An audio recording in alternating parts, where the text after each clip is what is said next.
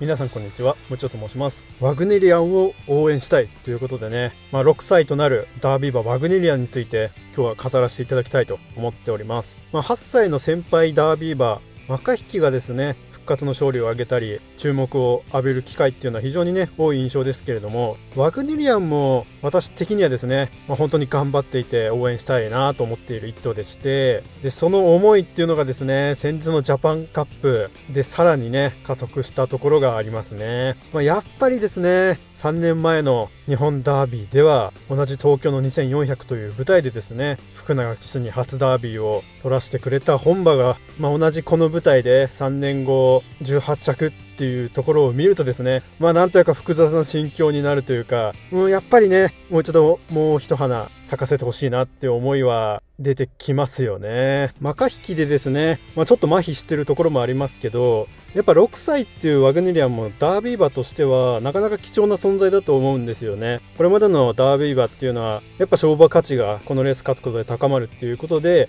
まあ、5歳とか早馬だと4歳、ロジャー・バローズなんかは3歳でね、まあ、怪我等もありまして引退する馬もいますし、で実際にレイデオロとかロジャー・バローズっていうのはですね、マカ引きはワグネリアンよりも先に商売入りしてもう3区が生まれている馬もいるとでまあマカヒキの時も話したんですけれどもワグネリアンの場合はですねなぜこの年齢になって現役で走り続けているのかっていうのをちょっと私なりに考えてみたいなって思うんですけど、まあこれもちろんですね、金子さんオーナーの意向っていうのがまあ一番あるのかなとは思うんですが、やっぱりこれは血統の面が結構ハードルになっているところはあるのかなと私的には思ってますね。結構ワグネリアンはですね、マカヒキ以上に完成している血統と言える部分があるんですよね。まあこれも見れば明らかなんですけど、父がディープインパクトで母父がキングカメハメハと。これはですね、まあ、正直言って結構繁殖の選択の幅をですねなかなかに狭める配合ではあるんですよね。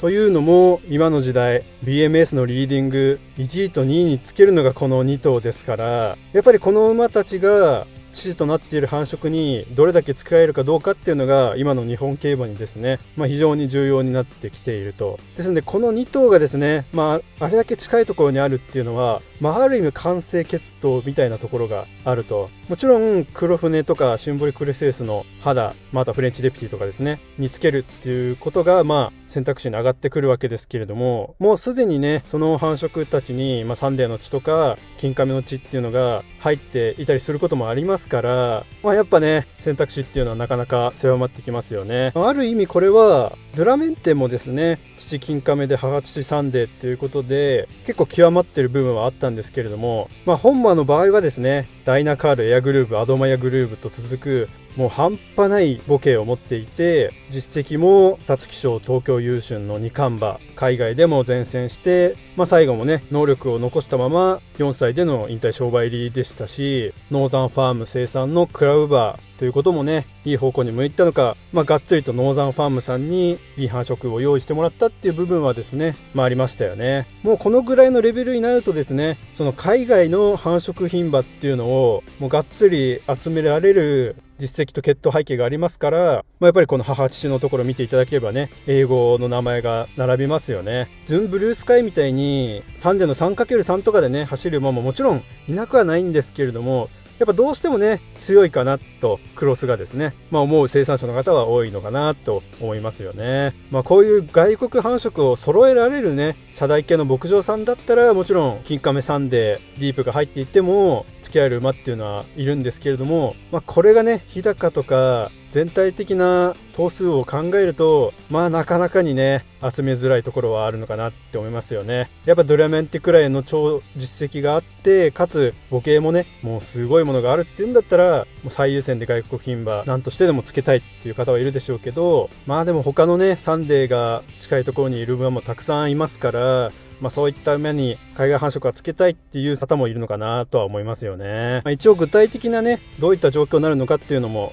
説明しておくと、まあ、アパパネとかみたいに母父キンカメっていう今ねトップを行く BMS の繁殖つけると 3×2 っていう強烈クロスになってしまったりなくなりはしましたけれどもシーザリオみたいに母父がサンデー系の種牡馬になってくると、まあ、サンデーの 3×3 というクロスも入ってしまうということですね。やっぱこの2つ同時にできてしまう勝負っていうのはどうしてもね背後の選択っていうのが縛られるっていうのはわかるかなと。ちなみにこれマカ引きだと母父フレンチデプティと金亀の血は入ってませんから金亀の肌にはつけられるっていうことにはなるんですよね。まあレンチデプティとか黒船もやっぱ繁殖相手としては非常にね有力なので、まあ、そこにつけられないっていうのはあるんですけれどもね。まあただ金亀系統の繁殖をつけられるっていうのは大いに選択の幅っていうのは広がるかなって思ってますんで、まあ、将来的に幕引きが商売入れした時にアパパネにつける可能性っていうのは私はあるんじゃないかなって思ってますよね今ブラックタイドつけてるみたいですからね、まあ、もちろん商売として実績を上げてからっていう可能性もありますけど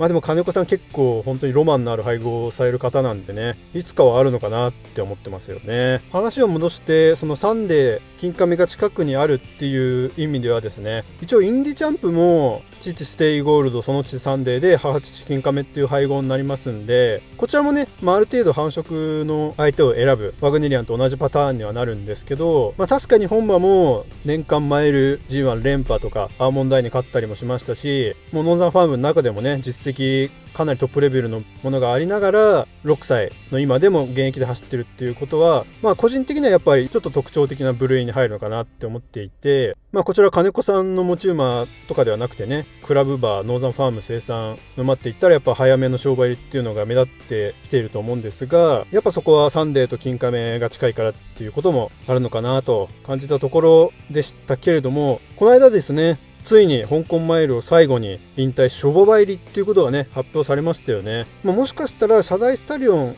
ではないっていう可能性はね、まあ、実績は十分なんですけど、ちょっと違うところになる可能性はありますが、まあ、ただやっぱりね、これくらいの実績がある馬が商馬として需要がないわけがないということでね、まあ、入ったところもあるのかなと。まあ、もちろん本馬もですね、そのサンデー系の商馬の肌につけると、まあ、サンデーのクロスができたり、キンカメでも 3×3 とか強烈クロスとはなるんですけれども、まあその実績とこの母系の優秀さっていうのがね、まあ、評価されて入ったことにはなると思うんですよね。まあ、ただそれを考えるとですね、やっぱワグネリアンもブロードアピール、ミスアンコールと続くですね。まあ本馬以外にも活躍馬多数のこの血筋を持っているわけですから、